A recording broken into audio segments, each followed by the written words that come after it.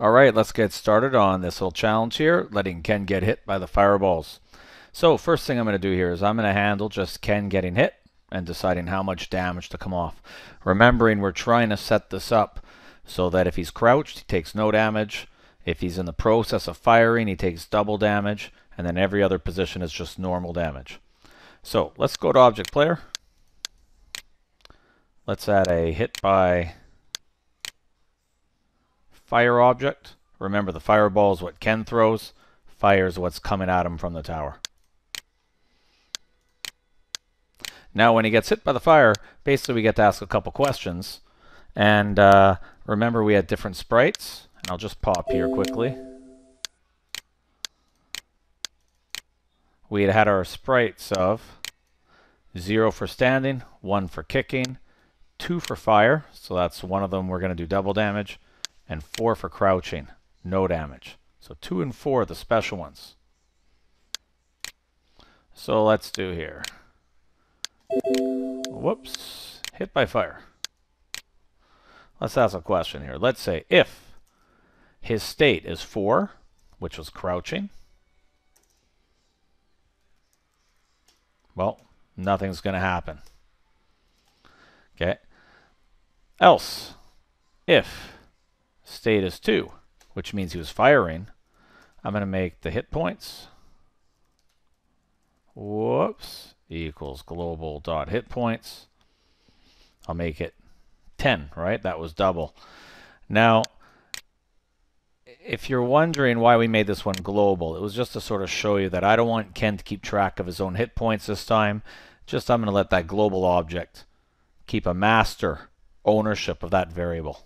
Okay, global this time around. Okay, so it's only because I created it globally in the globs object. Now, the thing is, every other state, no matter what it is, right? 4 was nothing, 2 is something. Every other state, I'm doing the same thing.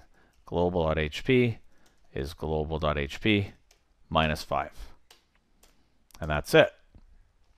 Now, in all of these situations, I have to make the explosion. So what I'll do is I'll come back in a minute. I haven't made this object yet, but I still have to add the explosion, right? No matter what state he's in, he's just got hit. I'm going to make that explosion pop up. Okay, so this should be okay. And I guess I should do this. Let's not forget with the other object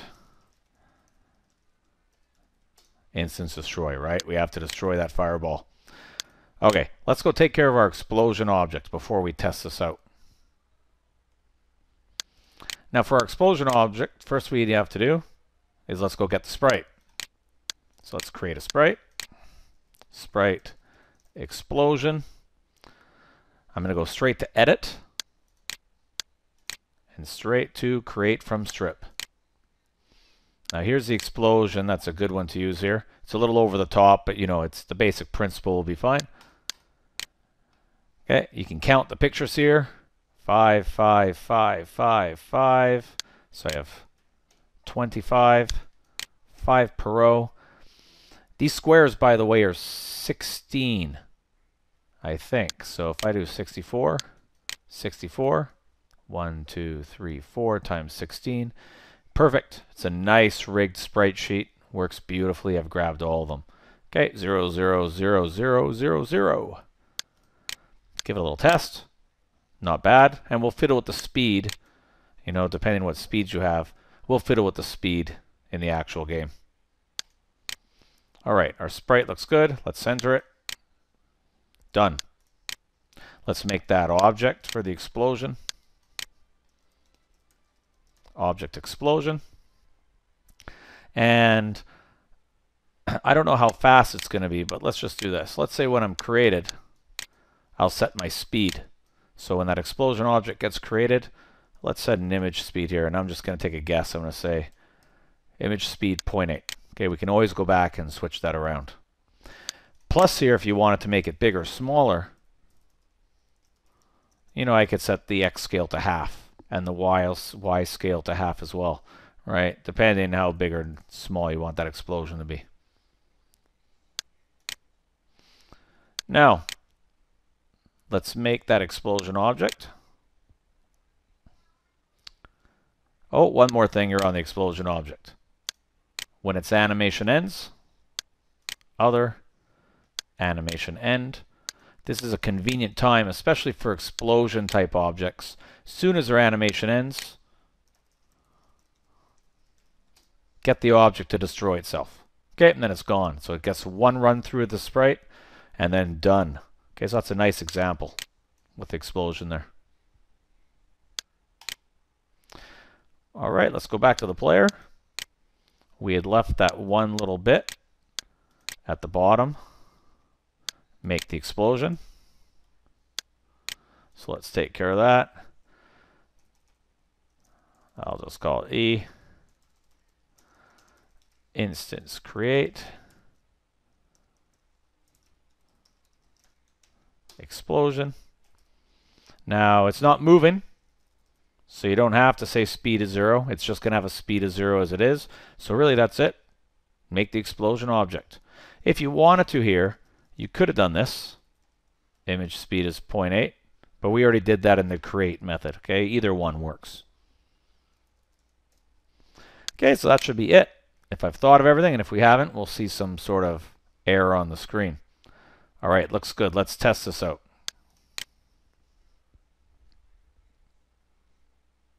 Okay, I'm going to get into a block position.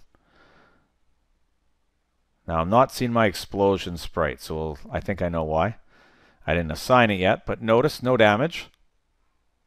I'll stand up, taking 5, and let's try to fire here. Middle of firing, I'm losing 10. So it looks like it's working perfect. Okay, and the punches, I just lose 5. So that's good. So it seems to be working. Now, why am I not seeing my awesome explosion object here? Probably because when I made it, I made the sprite, but I never assigned it. So let's just go get that explosion there. And let's see this nice over-the-top explosion when I'm hit.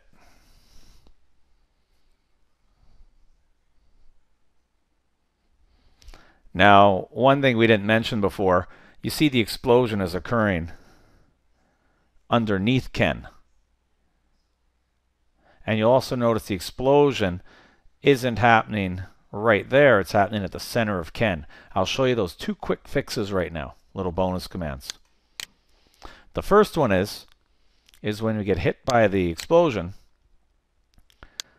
I'm making the explosion at XY. I'm coding inside of object player which means the explosion is going to be at the xy of the player. What you might want to change here is you could say other.x, other.y. And you know what? We should really destroy after if we're going to do that. So make the explosion wherever the explosion hit or wherever the ball hit. Then we destroy it. So that's number one. The other one here is where the explosion should be. There's actually one variable we haven't talked about yet that's built in. It's called the depth of the sprite. Depth is how close to you, the viewer, or how far away from the viewer an object is. And so if you want the object to be on top of everything else, you actually make the number negative, like negative 10. Even closer to me would be negative 11. Even closer, negative 99. Even closer, negative 999. By the same token, you can make things get far away by making the variable positive.